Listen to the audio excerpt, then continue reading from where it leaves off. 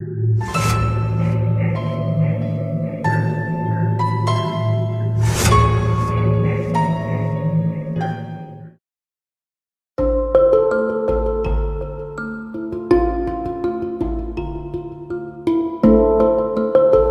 is the story of the Silent Pony.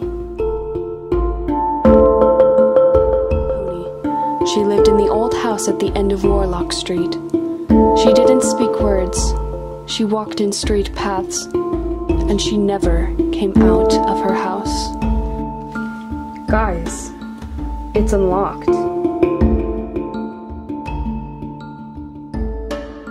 Let's play a game.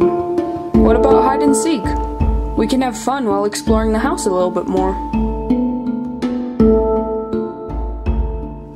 Where is everyone?